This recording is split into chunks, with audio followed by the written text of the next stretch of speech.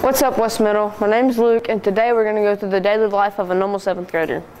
So, first, we would come through these doors this way, then we would go into the cafeteria, and then we could go into the gym, and then at 7:40, after we go to the gym or the cafeteria, we we would most of us would go down the eighth grade hall to go to tag.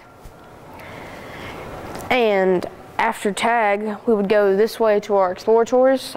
I particularly particularly have auto tech and gym.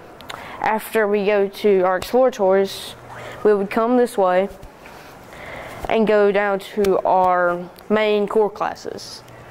First core, I have Miss Myrick for math, and then we would go down to go down to the cafeteria again to get lunch, and then after lunch, we at 12 o'clock we would go down to our second core. I have Miss Lee for reading, and then after re- um, reading, I would go to um, Miss Miss Wright for math science, and at 2:40 2:40 we would we would go to our lockers and get everything, and then at 2:45 the day would be over, and we would leave. That's the daily life of a normal seventh grader. Make sure you subscribe. Goodbye.